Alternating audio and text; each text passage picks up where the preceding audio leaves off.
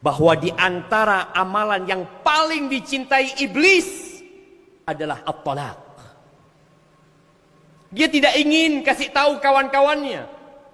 Karena yang terjadi adalah salah satu dari yang dicintai oleh iblis.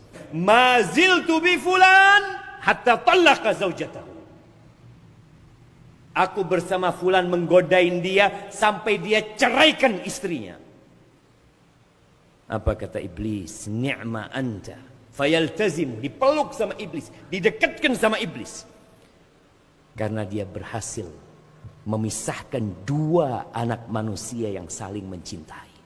Kalimat talak bukan kalimat yang mudah dan sederhana. Tapi kalimat itu membuat iblis berbahagia. Maukah engkau membuat iblis gembira? Membuat semua kawan dan keluargamu tersiksa bersedih hati?